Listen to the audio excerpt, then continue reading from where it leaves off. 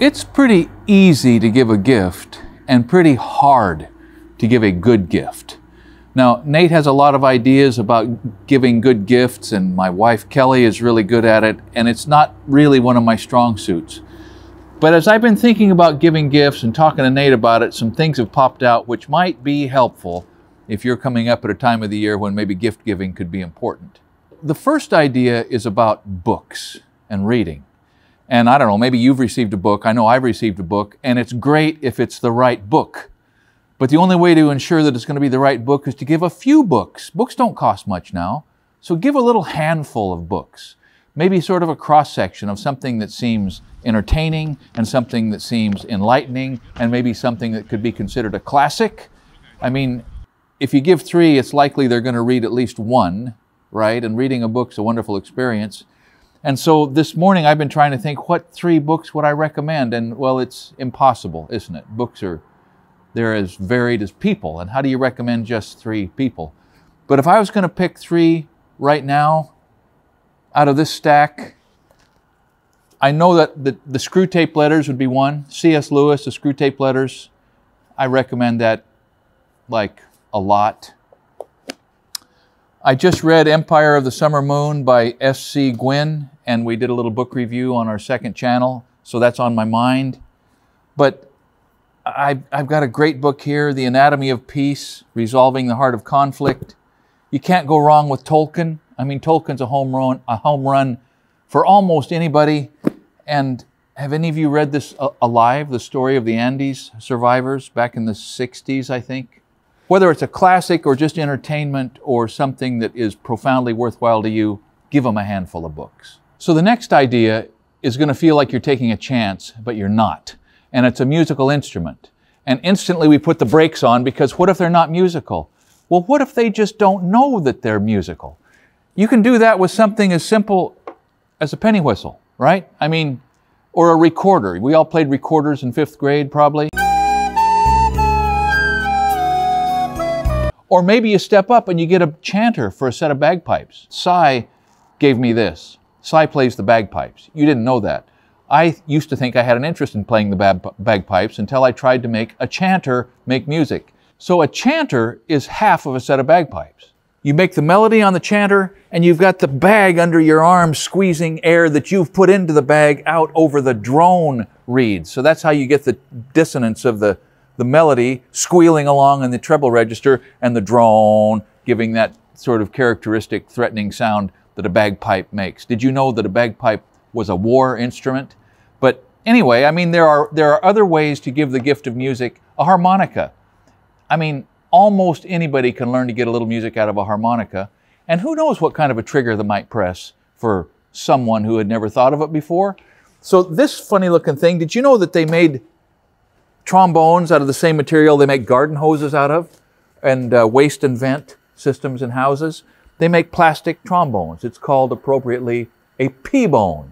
And I take this if I'm going camping or I can ride around behind the seat of the truck because of course you never know when you're going to want a trombone when you're camping, but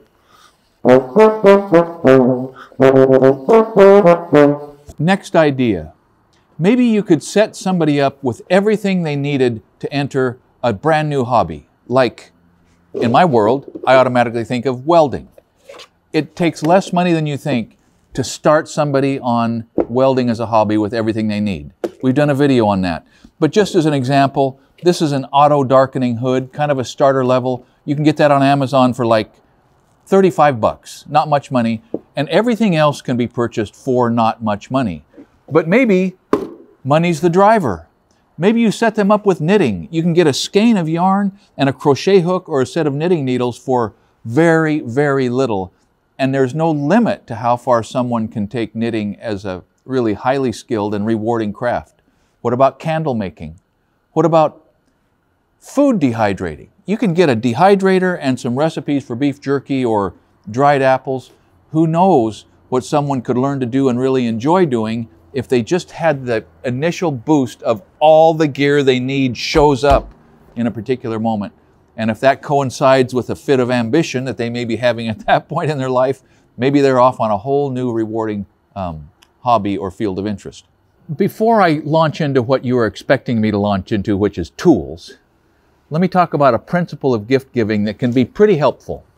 And that is once you identify something that you're really sure the person is going to be able to engage with, or that they would like to have, or perhaps that they already have something like it, find something a little better or a little more brand recognizable or a little more versatile than what they might buy for themselves.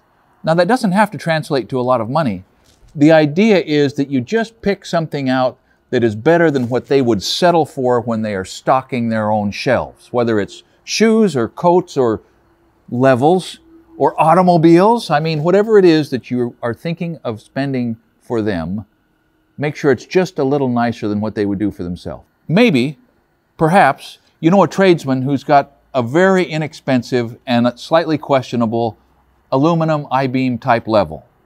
Okay, that's all right. It's working. But maybe you can just step up a little bit and get them another level, perhaps identical in function and more reliable and more durable in form. Does that make sense? Maybe you can just buy a little nicer level that's a better version of the same thing.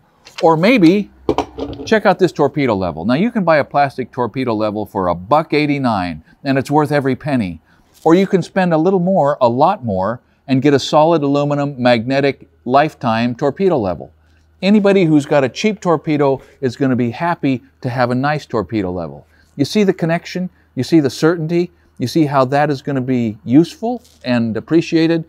Or you take it all the way to the max and just get them a bigger version of a tool that they are bound to like. Or maybe you demonstrate some tradesman sophistication, and if it's a mason you're buying for, you don't buy him an aluminum level, an aluminum level at all. You get him a nice Crick wood level, which is a mason's tool of choice. Anyhow, it's just a concept.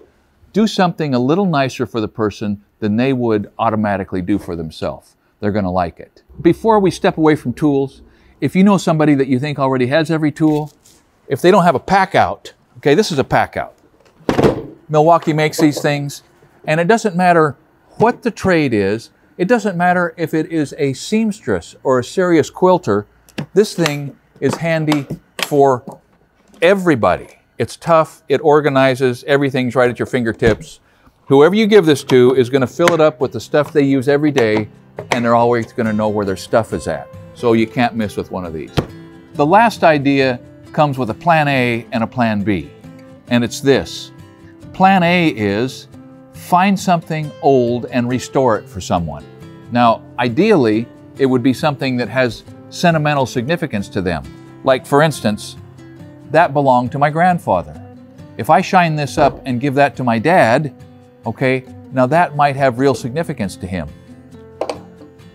Plan B is find something that the person would like to restore.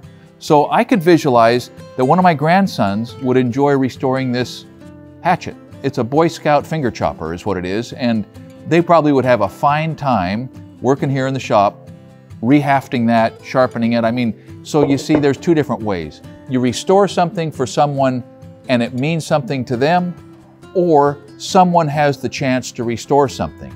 I can tell you one of the next restoration projects that I'm going to tackle is a hammer just like this, and I looked for it and failed to find it, but it belonged to my dad, was given to him by the guy that owned this, and now the Estwing hammer's lost all of its leather washers, and it is a pretty dilapidated excuse for a hammer.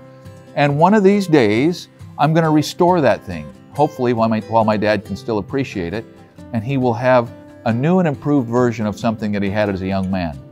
Now, a gift like that could go a long ways to making a holiday really memorable, couldn't it? For the giver and the receiver. So, in any case, whatever the gift is that you're looking for, the more of yourself you can input into the giving of that gift, the more it's going to mean to the person that receives it. Thank you for watching Essential Craftsman and keep up the good work.